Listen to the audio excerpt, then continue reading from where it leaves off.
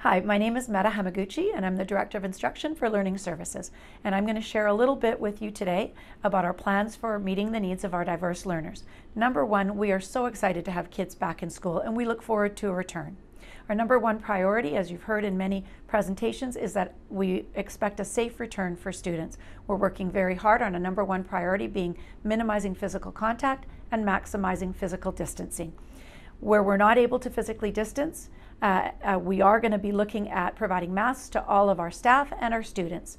Face shields will be provided for students uh, with low incidence where staff require a specialized procedure or specialized service. The kinds of services we're looking at would be for a speech and language pathologist, a psychologist, where physically distancing, adequate physically distancing may not be possible some of our outside agencies as well, working with the Vancouver Pediatric Team, occupational therapists, and physiotherapists. They are following the Vancouver Coastal Health Guidelines as laid out by Bonnie Henry.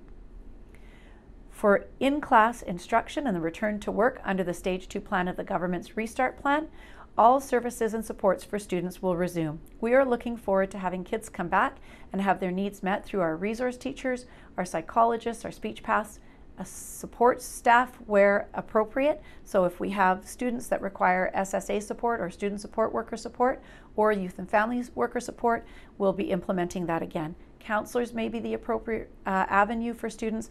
In school, all of those services will resume as usual.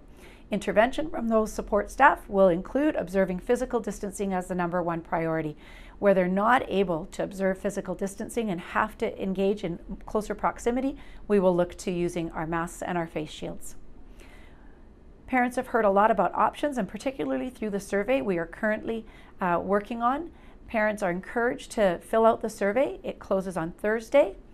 Uh, we're hoping to ensure that parents uh, have the opportunity to give voice to what their needs are for their students. Our number one hope is that students return to school in full. Where that's not possible, homeschooling, Vancouver Learning Network is an opportunity for students. The other is home uh, ho- hospital homebound.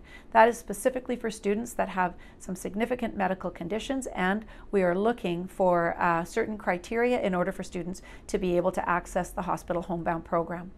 The survey is really helping to support us in developing a plan uh, that we hope to be able to share with you by the end of the week, and that is that transition program. It is under construction. It's an opportunity for you to give feedback into what the needs are of a variety of kids. Please ensure that you fill out the survey. Our number one priority is that we really hope to have kids return to school uh, the first day back, and we look forward to meeting the needs of those kids with all of their typical peers and all of their typical uh, supports and staff. So we're really excited to return to school. Thank you.